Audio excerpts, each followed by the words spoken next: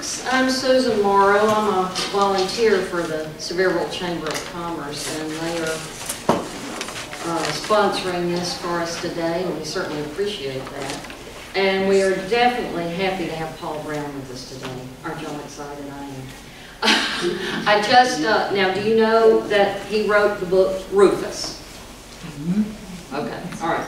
And perhaps you've all read A Death in the Family. I did, I just thought it was fantastic. And Paul had, he was born here in Knoxville, but then at a young age, they moved to California, and you lived there for many years. And you taught school for 10 years here when you moved back, and you, you started investigating the history of Knoxville since you had only lived here for a few years. So that led to, boy, this guy's great. And let me, and then suddenly his sweet little wife said, why don't you write a book? Because you've done so much research. What a great idea you have. Anyway, um, we would like for you to turn down your cell phones if you have one. Um, and I think that's about it. And so without further ado, um, Paul Brown, thank you for being here. Appreciate Thank you, Susan, for the introduction. And, uh, Thanks to Carol McMahon and and all the folks who put this event on every year. Um, Such a big undertaking. Um, And I appreciate your all's interest with all the other options you had during this hour, uh, as far as speakers to listen to. I I appreciate your interest in Agee, and I hope, uh, you know, some, something that I say this morning will, will interest you in, in maybe investigating his work further if you, he's not someone you've read a whole lot. Um, I've given several talks about Agee at different places. Most of them are focused on his Knoxville childhood, um, because those were obviously very influential years. Um, those of you that, that have read Death in the Family know what a beautiful work that is, and it's, it's the book that got me interested in reading about Agee. And it's highly autobiographical. It's based on an event in 1916 when his father was driving home one night from La Follette back to Knoxville and had a car wreck. Uh, he was the only one in the car. He was the only one on the road at that hour. So the, the, um, the cause of the accident was somewhat mysterious, but it deeply affected the family. And Rufus, who almost idolized his father, grew up um, kind of with feelings of uh, you know lacking closure and, and feeling like he um, his father was still continuing to haunt him. And so a lot of his work, even if not directly addressing his father, um, you know, does touch on death and um, changes that affect family life and, and stuff like that. So um, before you even consider buying this, I would highly recommend Agee's. I'd, I'd much rather promote his work because that's what got me interested in, in this. And especially because it's, it's often um, pointed to it as an example of one of the finest works that any, of any Tennessee writer. Um, it, it often makes national lists of you know the best hundred novels of uh, the 20th century. So I, I recommend that. Um, but I also want to today highlight a little bit about Sevier County. This is my first time speaking here about Agee, and um, you know the nearby Smoky Mountains. It's a lot closer to the Smokies here than it is in Knoxville. Um, and those mountains influenced Agee and his work. So I, I definitely also want to leave time for your questions. In fact, I need to uh, make sure I keep track of the time uh, so that I can do that. But so here's a here's a big statement for you to agree or disagree with. Uh, if not for Sevier County, James Agee would not have been born. Uh, now, I thought of that the other day just based on his family history and what kind of brought his parents together and stuff. But I must admit that James Agee never lived in Sevier County. Um, and in fact, there are only, you know, I looked at some old census records and there's only a few Agees that I could find in all the pre-World War II census records. Um, the 1940 census lists a small family, um, Waymond and Isaphine Agee and their infant daughter. And then in 1920, the census for Sevier County shows just one person, a 34-year-old married woman named Elizabeth, or Catherine Agee, um, who was living with her parents. Her husband wasn't listed. So, uh, so basically in, you know, since the 1800s all the way through 1940, uh, I could only find four individuals with the last name Agee in this county. Now, people may have moved in and out, uh, but in those census years at least, they only found four people. Uh, the name Agee was much more common in counties like Crockett, Smith, um, and Campbell, which is actually where Agee's father's uh, family came from. Um, his great-grandfather, James Harris Agee, represented Campbell County in the state legislature. State legislature. He was a, a practiced medicine up in Campbell County. Um, Agee's grandfather, Henry Clay Agee, uh, was a school teacher up in that county and a farmer. Um, and then Agee's father, Hugh James Agee, um, he always went by James or Jay, uh, never by Hugh. Um, but Hugh James Agee, uh, Agee's father, uh, also taught school for a very short time. He was a lot like Lincoln. In fact, Agee compared his father to Lincoln because his father only attended school through fourth grade, but he self-educated himself, reading constantly in his spare time. He read law books and different things. He actually built an addition onto his family's home farmhouse up in Campbell County just so that he could be by himself and read after he got home from work. So that, that's a man that was really interested in uh, you know, educating, educating himself, and that's part of the reason why he moved to Knoxville, to the city, to find employment uh, as a postal worker around 1901. Um, so, so the Agees aren't represented here in Sevier County very well. Um, Agee's maternal family line, the Tylers, I was really surprised. I mean, I knew they weren't from uh, Sevier County. Uh, they actually came down from Michigan.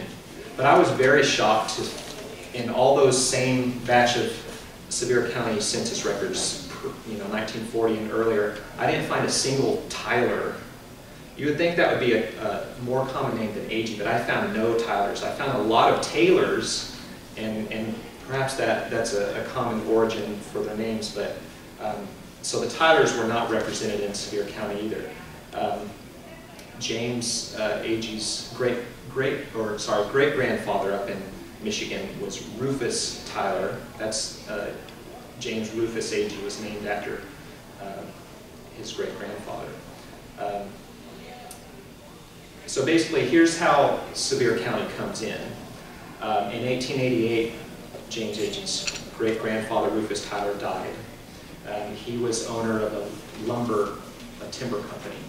And his son, Joel, James Agee's grandfather, Joel Tyler took over the business, but up in Michigan, he had a chronic illness every winter. Those harsh Michigan winters, uh, he, it gave him trouble every year. So after his father died, he started looking south um, to find a, a, milder climate to where he could also kind of continue on the timber industry. So, um, so again, he, he started looking and um, that's how he, he became interested in Sevier County. I'll read a little bit about this period in Tyler's history. So around that time, Joel and two or three other men up there heard about the wonderful uncut timber in the mountains of East Tennessee and how cheaply it could be bought, according to Laura, who was Joel's, uh, Joel's daughter uh, and James Agee's mother. Except for small local logging operations, Smoky Mountain timber had been largely untapped, partly due to any, uh, the absence of any efficient method of transporting logs. And so Laura says, they made them a party and went down into the mountains below Sevierville and bought quite a number of thousands of acres down there. It turns out it was only about 2,200 acres, but they came down and the deeds were signed here in the Sevier County Courthouse. Um, so this Joel Tyler and his timber company, they invested in this land in Sevierville. And I actually found the old deed. There were a couple of little points on the deed that uh, the, the names were kind of obscure. They've been changed, like there was a, a Rattlesnake Hollow or something like that that I could not find any reference to. Um, But um, part of the tract touched the, near the top of Round Top Mountain, which is um, over there, you can see it from like the, uh, the high school near Gatlinburg, um, about two and a half miles due north of Mount LeConte. Another corner touched Roaring Fork Creek, which of course is, is a, um, a well-known spot here. So Laura said, it was wonderful timber, and Papa was the judge of that timber. He'd go through the woods and be able to calculate everything. Um, so she, James Agee's mother, remembered when Joel Tyler returned from East Tennessee on this expedition um, to try to scout out the, what the timber was like down there. And so these are her words. I remember when Papa came back to Kalamazoo from that trip, and Laura was a, about four years old at the time, but she still had this memory. She says, we were little things and didn't understand where he'd been. But he came in, I think Mama was dressing us in the morning, he was telling different things about it, how different it was down there. And they'd been invited to sleep in a cabin with a family who were being hospitable to them, but it was perfectly impossible. These three men and the whole family all in one room, and no air to breathe. So they went out and slept in their tent. And so uh, she also has this memory of him bringing, pulling something out of the bag that he brought back to Michigan from, from uh, Sevier County, from the woods out there. And Papa drew out a thing uh, from his satchel, a lump of something brown. And he said, what do you think that is? I said, it's a rock. He said, no, it's corn pone. They eat it down there.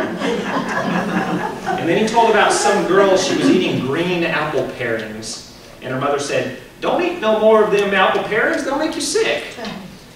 That struck me as a very peculiar thing. I got some funny impressions of the place. It was very wild, of course, in those days. So uh, you can kind of imagine these, these little kids. And she had a twin brother, Hugh, who was James Agee's uncle, who was a, a very well-known artist, uh, especially here in Knoxville. But you can imagine what these little kids were thinking, and, and to find out that they're going to move to this place where they eat stuff like that, and uh, you know, talk a little bit funny, and you know, are out in the woods and, and these little uh, log cabins. Um, you know, you, you can imagine her being ex both excited and a little bit perplexed about why they were moving there. Um, so anyway, long story short, Joel abandoned the timber idea uh, because he had, he had wanted to, on this tract of land, he had heard that the railroad was going to come through there, and he was really banking on uh, making a lot of money from the railroad company to, to cross his tract of property. But it turns out it never happened. Uh, and just a few years later is when uh, Colonel William Townsend started the Little River Railroad Company uh, over in the area that's now known as Townsend. And, uh, and so kind of stole, uh, stole Joel Tyler's thunder there. So anyway, he gave up on the timber idea, but somehow met um, people in the machinery business. They, were, they made flour mill machinery. So he partnered into a company in around 1891. The family moved down, and so uh, the Tylers, uh, Laura and Hugh, eventually finished grade school and attended UT. Laura joined an off-campus dancing class where she met a handsome postal clerk named James Agee. Uh, J. Agee, if you will. They fell in love, married, spent two years in uh, Panama's Canal Zone, where Jay transferred to work as a postmaster over there. They returned to Knoxville in the fall of 1908. The following fall, uh, November 27, 1909, Laura gave birth to a son, James Rufus Agee So that's all thanks to Sevier County, you could say. So, um, so that's just a short lead up to where, where Rufus ties into that. Um, now, the, the family, one thing that Rufus does remember, even though he didn't live here in Sevier County, is he remembers vacationing in the Smokies. And so the, the, uh, the railroad that took him from Knoxville to um, the Elkmont and the Wonderland uh, resort and everything, it, it didn't come up through Sevierville, it went around through Maryville and, and Townsend out that way. But Elkmont was in Sevier County, um, you know, before the state took it over, or the, the federal government. And so, um, so his memories of Elkmont are, are evidence that Sevier County you know, and obviously the Smokies had a big influence on him. Um, and so, uh, one, one of the things that, that he wrote, he has some various memories that he wrote down, but he, he has a wonderful description of the train ride from Knoxville uh, out toward he says that they, they got up and went to the L&N Depot, and he says, um, his mother told his Uncle Ted she liked it better than the Southern Depot because there were so many country folks. And his father said he did too. It smelled like chewing tobacco and pee, and like a barn. Uh, isn't that such a cozy smell? Uh, but anyway, they, they liked it better at, the L&N than compared to the Southern Depot. But uh, once, once they were nearing the Smoky Mountains, uh, there's this great description. It says, after a while, his father came hurrying back down the aisle and told his mother to look out the window. And she did and said, well, what? And he said, no, up ahead. And they all three looked up ahead, and there on the sky, above the scrubby hill, there was a grand, great lift of grayish blue that looked as if you could see the light through it. And then the train took a long curve, and these liftings of gray blue opened out like a fan filled the whole country ahead, shouldering above each other, high and calm, full of shadowy light, so that he heard his mother say, Oh, how perfectly glorious. And his father said, uh, and he heard his father say shyly, a little as if he owned them and was giving them to her, That's them, that's the Smokies all right. And, and sure enough, they did look smoky. They sure did this morning. And as they came nearer, smoke and great shadows seemed to be sailing around uh, on them.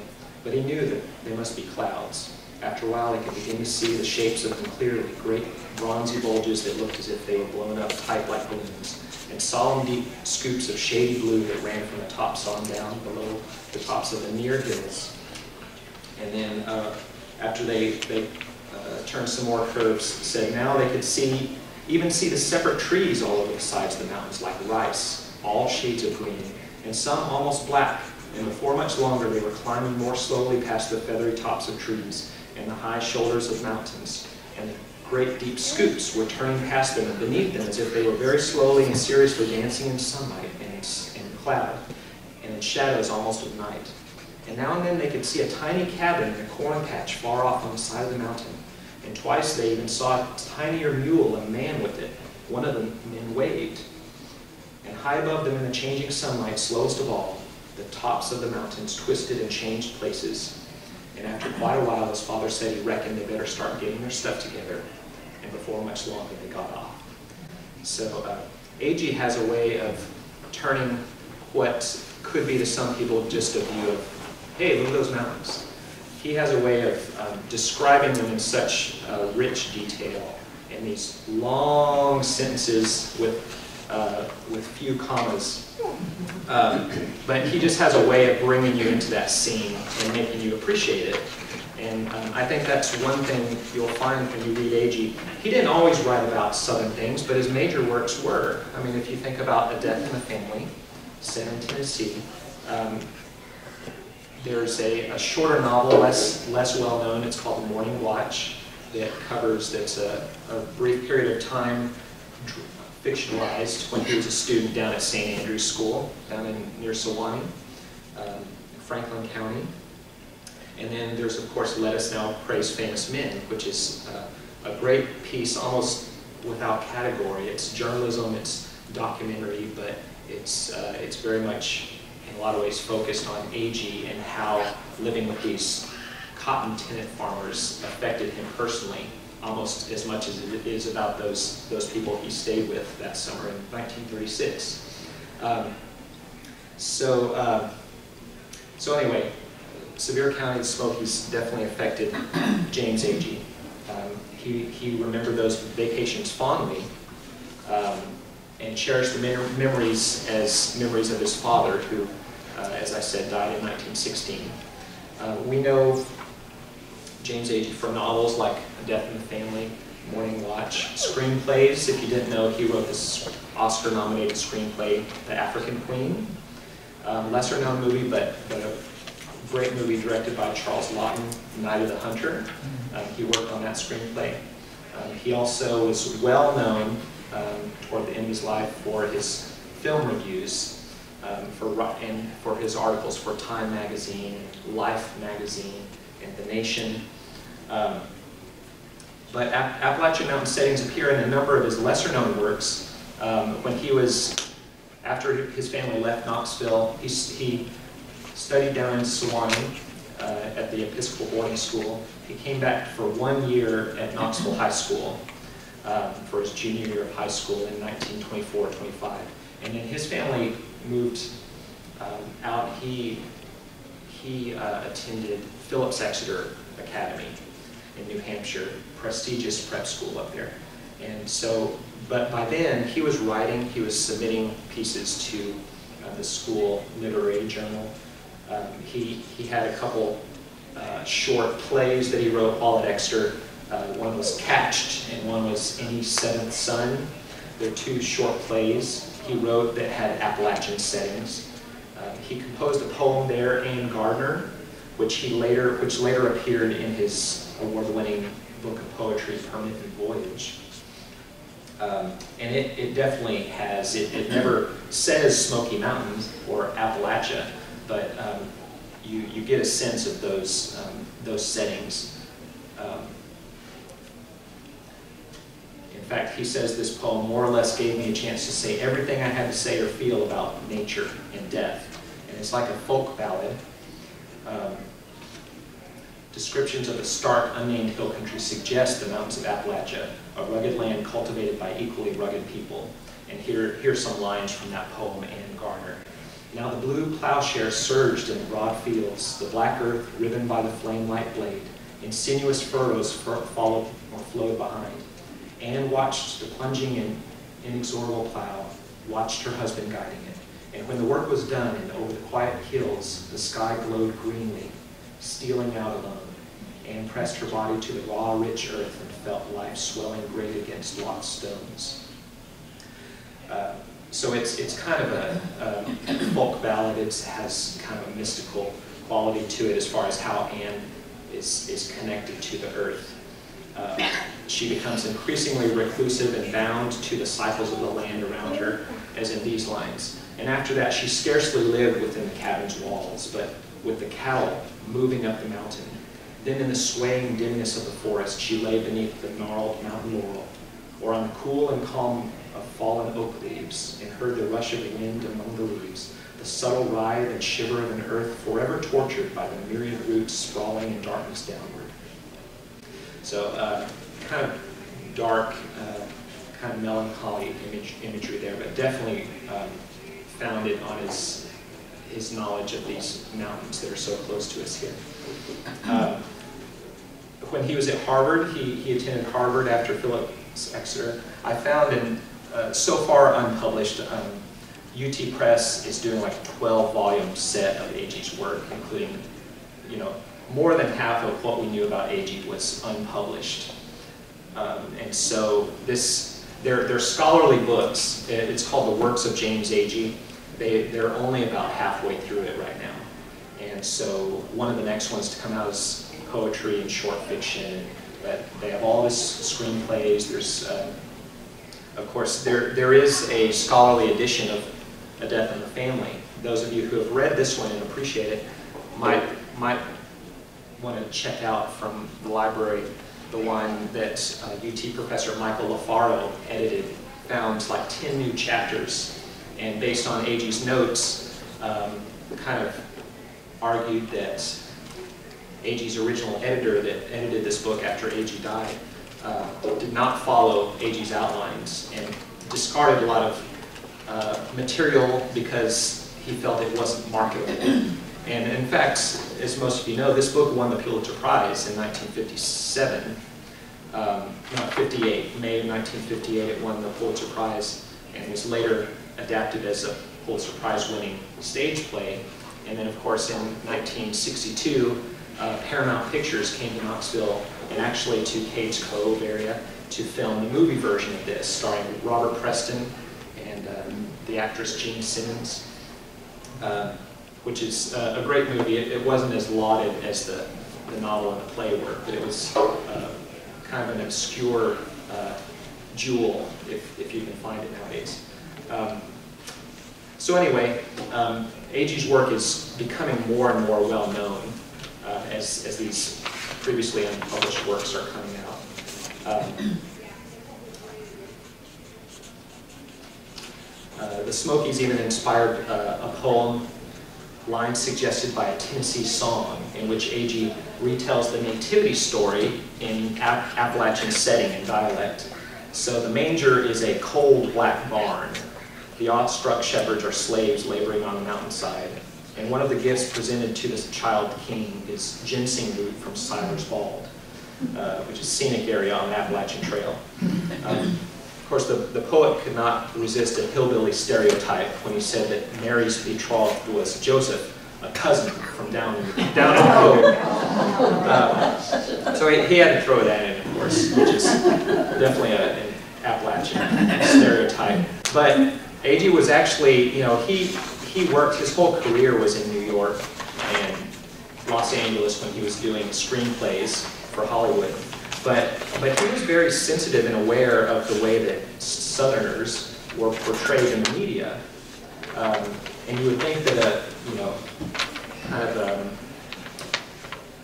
um, a member of the, you know, intelligent, literate, uh, liberal crowd would uh, would kind of be aloof to that, I, I, I, would say. But he never forgot his southern roots, and so he was always kind of, um, you know, fringe remarked on his his kind of fixation with it. He would uh, his Harvard roommate remembers that he would read poems by Shelley, but in a, a, a, deep East Tennessean accent, just, just for fun. But he was always bringing in, tying in his uh, experiences from his childhood.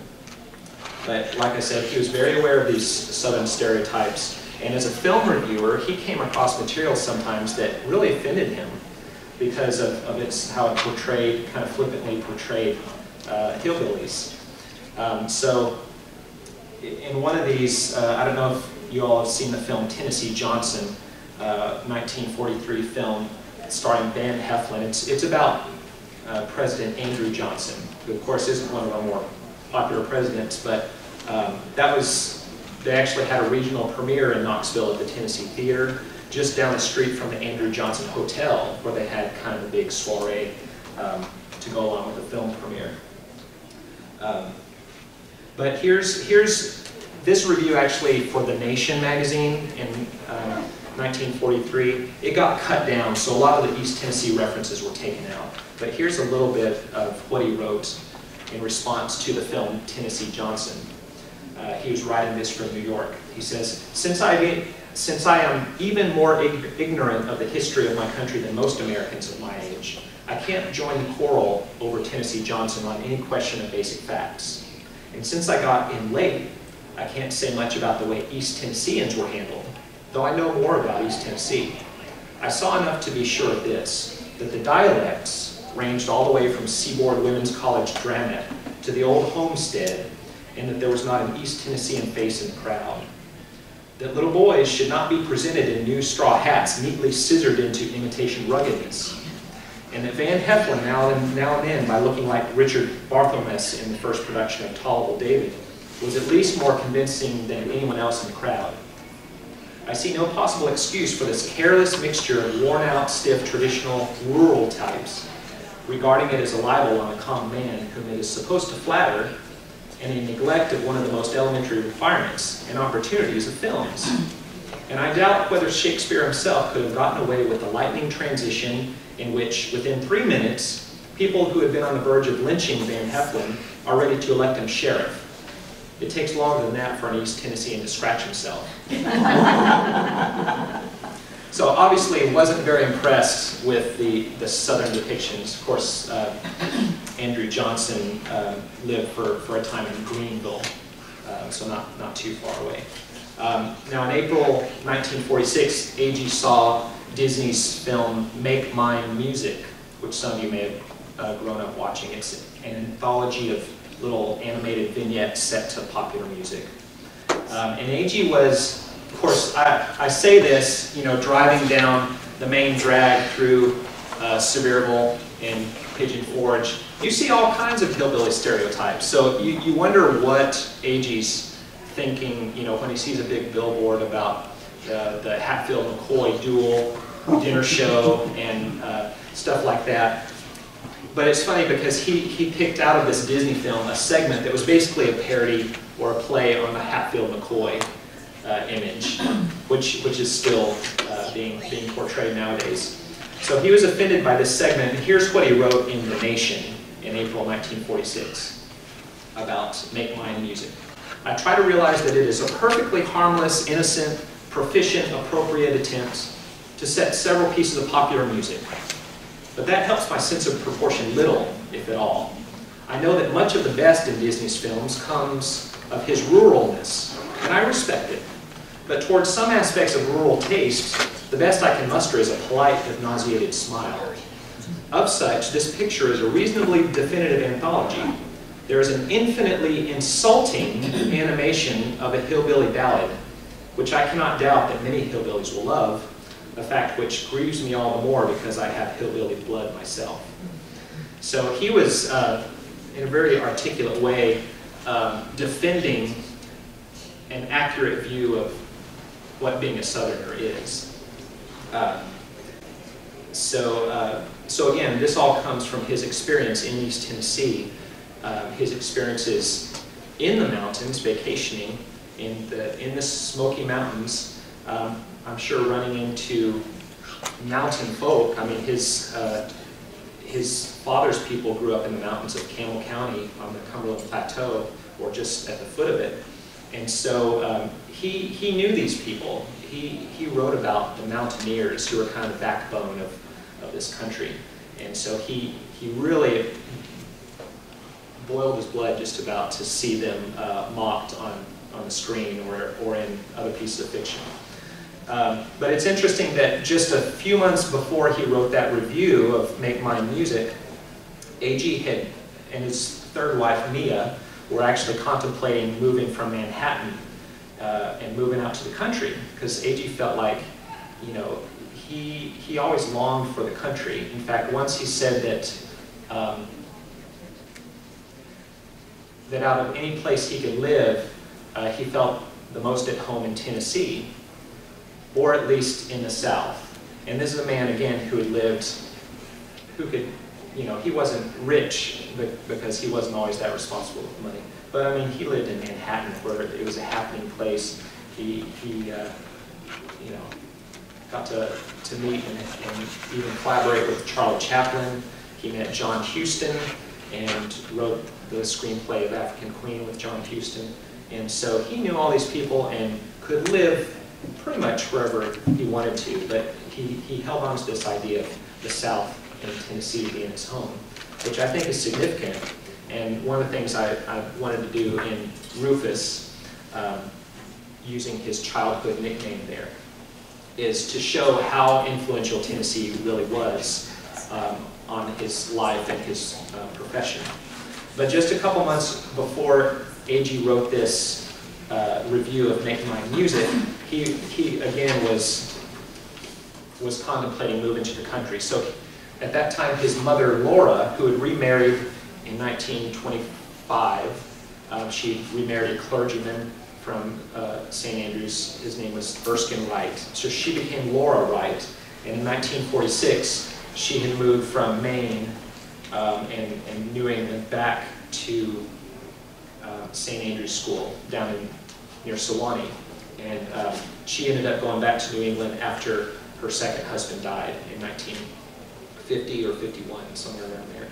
Um, but anyway, 1946, she's, she's offering him advice about where in the country he maybe should look. And so she wrote this letter, interestingly, she wrote this um, about 74 years ago this week. She wrote it on February 19, 1946, and here's what she writes. Dearest Rufus, as to your yearning to get out of town and find some mode of work permitting it, we, both of us, including her, her husband, fully understand it and wish you might and wish you may. We feel you should give it a thorough trying out, however, before you would think of buying a place or even selecting a permanent locality. This mountain country of Tennessee is exceedingly lovely. And if it did not prove to be too far away from your markets, which as you say would be north, it would seem of itself a place that would satisfy you very much. At this time, there is not only a shortage of houses in this region, meaning down near Sewanee, but there aren't any at all available for rent. People come here to St. Andrews begging to rent, and neither in Sewanee or in the country is there an empty house. My thoughts, though, turn to Gatlinburg, in that very wonderful Smoky Mountain country, which seems to me far more beautiful than this. I recall an old woman we drove into Sevierville, picked her up on the road. She and her old husband lived back and east of Gatlinburg, a mile or so. And at that time, we had an idea, uh, would have been glad to sell or rent or board people. The views from their locality were great beyond description, and I would certainly think the ideal way would be, if you could, to get to know some such people, rent a house on their place, perhaps, with use of their spring, etc. And if you got uh, short of liking it, probably buying from them at a very reasonable figure. Wild land here on the mountain sells at about $4 an acre, but that means entirely away from roads and with no human improvements at all, of course. And now, with the outlook of such awful shortage of building materials, it would seem pretty hopeless to try to build within any short uh, sort of time at all. So um, then she goes on to, because Agee had been married three times and uh, was not known at that time for his devoutness, um, you know, he, he always, uh, I would love to do a study about Agee's um, Agee's faith. He, he uh, grew up Episcopal. He kind of drew away from the church as he got into more uh, kind of leaned more into the artistic literary world. But, um, but he carried on this correspondence from 1925 to 1955, the year he died, 30-year uh, correspondence of, uh, between uh, or with Father James Harold Flye, who was his teacher down at uh, St. Andrews and a real mentor. And um, no matter what Agee felt like he could talk to uh, through letters. And in person uh, because Agee actually came back through Tennessee several times his, during his professional career. And he would stop at St. Andrews and, and always visit the Flyes. And uh, so anyway, uh, Laura, though, knows that Agee's not an Orthodox uh, religious person. And so um, knew that the fathers or the, the leaders of the school, uh, religious campus, uh, would kind of be a little bit uncomfortable about her son being that close. And Laura actually says that, which is uh, kind of awkward to read. Because uh, she says, we'd love, you know, we'd love to have, have you come see us too and meal with you and, and that this might be quite frequent. But as to the matter of having you come visit us here, it would not be the same as if this were our house and we were on our own place. I know, by the way, you wrote that you fully guessed this. This place so wholly belongs to the order, the Order of the Holy Cross, who, um, who led the school at that time. And is so entirely under the okay of Bishop Campbell. And as you know, he is very stiff about these things. And of course, it's very right and understandable that he should be, as the order is a definite leader in taking a stand about the church's teaching on marriage, etc., etc. Therefore, we are not free agents in this sense. Um, but anyway, she suggested, but if you, if you live up in Sevier County or Gatlinburg, you know, that's not too far to drive if we wanted to visit, you know, regularly, but still at much of a, keeping, keeping somewhat of a distance just to please the, so it's kind of an awkward letter.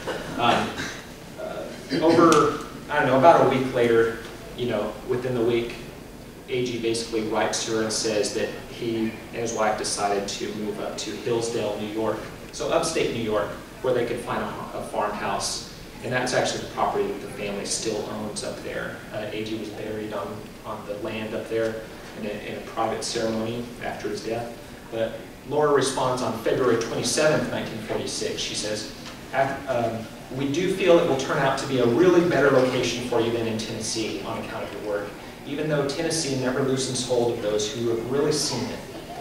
But all the same, to be in the hills and in the real country anywhere is a rest to the spirit and the mind, as well as a quiet tonic and strengthener. And it is a grand feeling sprung from deep roots in us mortals to own a piece of land and our own roof tree.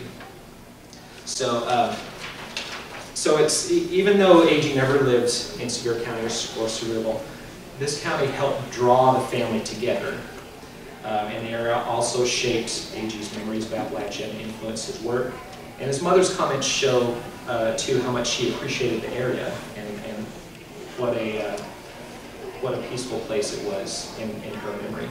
So um, I, I greatly appreciate your time, and I'm wondering if, if any of you have any questions you'd like to, uh, this might, I, I wish I had left more, Where did his mother end up living? Was she in Tennessee, in Campbellsville? She, um, so after her husband, her second husband died um, down at uh, St. Andrew's School, uh, and he was buried there in, on the campus cemetery, she moved to Connecticut, Okay, uh, Kent, Connecticut, I believe, which is where her twin brother Hugh okay. uh, lived out the rest of his Let me life. tell you one thing. You Yes. said Rams, uh, Rattlesnake Hollow. Mhm. There's, I know where Rattlesnake Hollow is. Oh, wow. My friend Frances is 80 years old, and it was her grandfather's farm that's kind of paralleling uh, Gordon Fork. Mhm.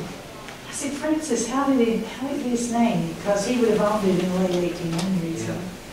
She said, all the rattlesnakes. He was a Oh. farmer, but all the rattlesnakes were there. Oh, wow. And then you mentioned Walt Disney. I'm sorry, I got to you. Oh, it's all right. Do you know, Walt Disney came here in 1950 and spent a month at Buckhorn Inn. Did you know that? I, I heard that, yeah, he flew into Knoxville, but um, really was, because out there on, on the North Carolina side of the, the Smokies, I don't know if that's when he was looking for a place to film the, the Davy Crockett That's series. exactly right, Mhm. yes. And I, I can't remember the name of the, uh, the, the center there, just on the North Carolina side of where they ended up filming there. But, but yeah, I'd heard, and I was really interested to find out he stayed a month and then he went out to visit Colonel Townsend's third wife, Alice. Oh, interesting. Her house is burned in 1967, Mhm. but when he made the movie Snow White and the Seven Mm-hmm. Dwarfs, he patterned the Seven Dwarfs house after Miss Alice. Really? Yes. Wow, that's amazing. There in Townsend? No, Where, where was well, it? Elkmont. Oh, Elkmont. Elkmont. Oh, wow. Yeah, Oh, man. That's that's where people go today to see the fireflies. Right. Right by Mhm. where our house sits. Oh, wow. That's a great story. How many of you uh, said that you had read A Death in the Family before? So about roughly half. Um, Again, um, thi- this book, uh, what inspired me to write it was reading this and the fact that it, it's set there in Knoxville and the surrounding um, area. Whoops. Um, I, I was fascinated, I was incredibly moved, wanted to find out more about the family, and just out of a personal interest, set off researching this family. And so, um, like I said, there's, there's things that I still am discovering because I, I have trouble, have trouble ripping myself away from it. So maybe one of these days I'll get to, um, to add to this, but, um, Do you But- have pictures of Angie, what he looked like? Was he tall, dark, he, he was, I don't have, um, I think I Because I know an Agee that lives in this county.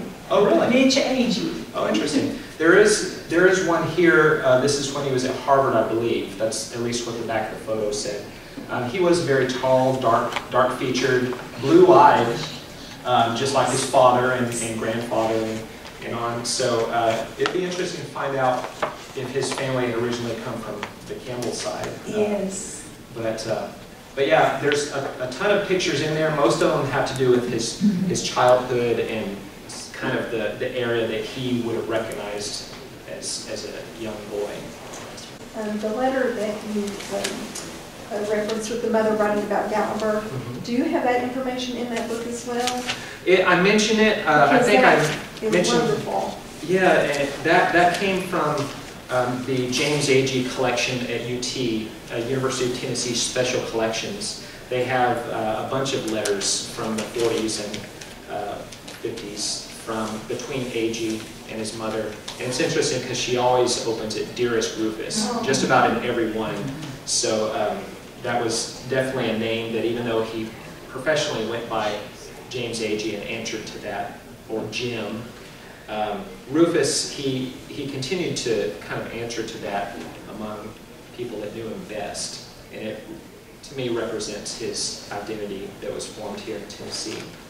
Uh, Do you know when they tore his home place down in Knoxville, what was, I guess, there was no, no one trying to preserve that or restore Not at that it? time, there, the- you know, it got some mentions in the local paper, and, and it was photographed, at least from a particular angle. Um, And Life magazine actually came out in 1962, in September, um, photographer from Life magazine came out, and then I think in 63 is when the photo spread, uh, November 63 in Life magazine, uh, different photos of his life. Uh, That, that was the year that the movie came out, but it's, it's one of those, like, uh, things that his house uh, started to be torn down in September of 62. Um, And it was just like homes, any home at that time was kind of getting run down, and they wanted to put in a big, ugly uh, brick apartment building on the site. Uh, So that, of course, of course landlords are free to do that, and they, you know, can get a whole lot more money um, per month from, from tenants uh, if there's a bigger, hou- bigger building on the same lot. But the frustrating thing is Hollywood came and began shooting almost exactly a month later. And they said, if we had gotten in time and gotten all the permissions from the developers and everything to shoot it, we would have shot the movie using that house. But they missed it by weeks. And it's extremely frustrating. Uh, Nowadays, I think Knoxville's come a very long way in um, appreciating old buildings. You see it downtown. Development has, you know, using, revitalizing old buildings for new purposes has spread in all directions uh, out of downtown. So, but at that time, there just wasn't that, that mindset and that appreciation. Uh, So, yeah, it's frustrating. But Knoxville does have a park that was dedicated in 2005, uh, just a block, block south of where Agee lived. It's just a small little park with a little looping trail, uh, flowers, and, um, but it gives you a sense, just looking around the, the houses of what the neighborhood was like. Highland Avenue in Knoxville, um, there's still, I mean, you know, it's frustrating that his house was gone, but it's surprising how many examples of that architecture are still there on that street, on that block. Um, There's this, that street that goes by where his house was, is named James Agee Street.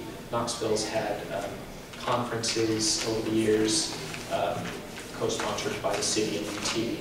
And so, and like I said, UT Press is coming out with this uh, set of complete work uh, complete works of James Agee, that I don't know when the last volume will be published, but it's, it's exciting to know that the public will have access to, to these works that have never seen the light of day, so, yeah, yes. I was wondering, um, your sweet lady that introduced you mentioned that you taught. Have you taught um, a death in the family to students before, or? No, in fact, um, I taught K through 12 music Okay, okay. out in Morgan County for 10 years, and so this, this was totally not my area of expertise. I, uh, my, my wife Jessica was an English major at UT, um, but I, it's just something I, I picked up out of interest. So, um, so yeah, I've never taught it. I would, I would, uh, students would get a sense of my obsession about it, I think, if I were to teach a class, but, uh, I just wondered if you've had, I, I um, read the Small Appalachian Cultural Center over at Carson Newman and teach an English department. I thought this would be fantastic to be able to teach that, and then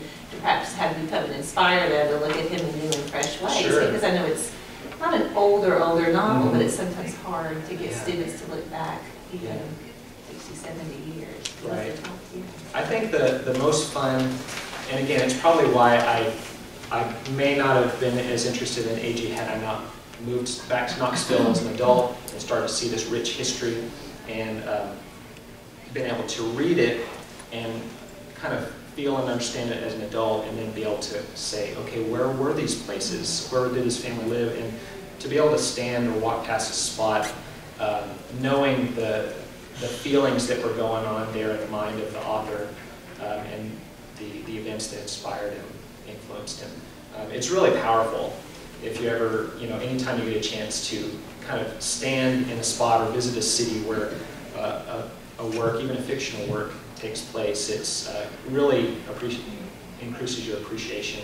So maybe they can do like a field trip to Knoxville and spend the day. There's so much to do here. So. Let me check the time. Any, uh, are there any other questions?